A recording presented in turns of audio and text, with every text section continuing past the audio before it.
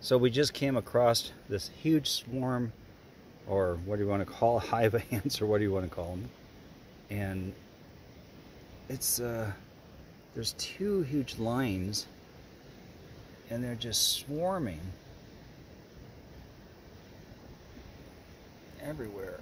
They go all the way down to that tree down there, the trees, and they're taking them all the way over whatever they're doing, carrying stuff to over here.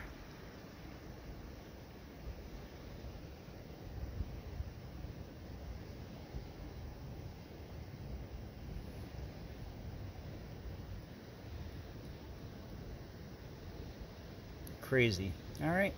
Nature lesson for the day.